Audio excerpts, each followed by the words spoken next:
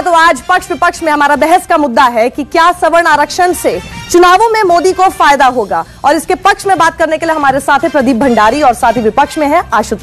अब अगर मैं पिछड़ेपन की बात करूँ तो पिछड़ापन अभी तक आज़ादी के बाद से सिर्फ़ हमने सामाजिक रूप से ही देखा है। पर एक पिछड़ापन होता है, जो गरीबी के कारण भी होता है। तो कहीं ना कहीं अगर संविधान की मूल भाषा को देखा जाए, कि वी द पीपल जो जस्टिस की बात की जाती है, जिसमें सबको समान अवसर और समान अधिकार देने की बात की जाती है तो वो समान अवसर, वो आर्थिक गरीब को भी देने की ज़रूरत है। और कहीं ना कहीं जो मापदंड है इसके वो इसी तरीके से है। साढ़े चार साल क्यों लगा दिया आखिर? साढ़े चार साल लग गए ये समझने में कि जी जो गरीब है और सवर्ण है उसको ये उसके साथ तो बहुत ज़्यादा नाइंसाफी हो रही है बहुत ज़्यादा दिक्कत है उसके लिए। ये एकदम से अभी नहीं हुआ है सितंबर के अंदर भी आपने और कई मीडिया प्लेटफॉर्म्स ने कहा था कि सरकार इसके बारे में सोच रही है। कि जी जो सवर्ण गरीब हैं उनमें काफ़ी ज़्यादा दिक्कत हो रही है उन लोगों को नौकरी नहीं मिल पा रही उन लोगों का एजुकेशन बैकग्राउंड बहुत खराब है। कोई इस बीच साढ़े चार साल में सुना हमने कि कोई ऐसा कोई कमीशन बनाया रिपोर्ट आई होगी देखिए पहली बात तो कहीं नौकरी को जो है इससे डायरेक्टली नहीं जोड़ सकते। अगर ये आर्ग्यूमेंट में मानूं तो कहीं ना कहीं ये कहा जाएगा कि जितने भी सवर्ण है, वो बेरोजगार चार साल में ही हुए वो नहीं है।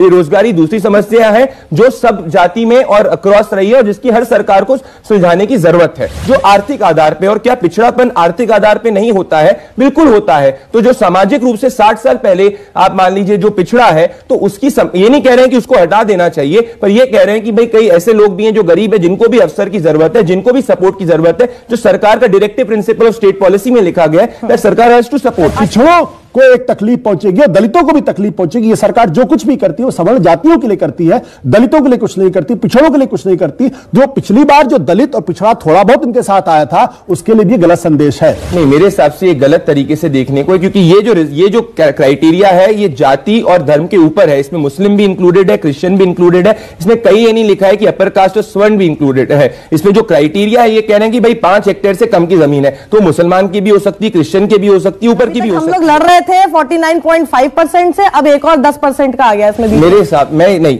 जो अगर मैं गरीब हूँ अगर मेरे को वो अवसर नहीं मिल पा रहे हैं मुझे वो सपोर्ट की ज़रूरत है जिससे कि मैं भी उस तरीके से कंपीट कर सकूँ जिससे कि बाकी लोग कंपीट कर रहे हैं तो सरकार ने कहा है कि हाँ, ज़्यादा पैसे वाले परिवार का होना क्या गुना हो गया किसी के वो तो गुना तो उसमें भी होना चाहिए कि जो रिज़र्व में जो ज़्यादा पैसे वाला है उसमें भी फिर क्या इस देश में सिर्फ़ पिछड़ापन सिर्फ़ जाति के आधार पर ही होता है? क्या इस देश के अंदर सत्तर साल में पिछड़ापन क्या आर्थिक आधार पर लेने की कोशिश की थी वो तो आँखें दिखा रहे हैं।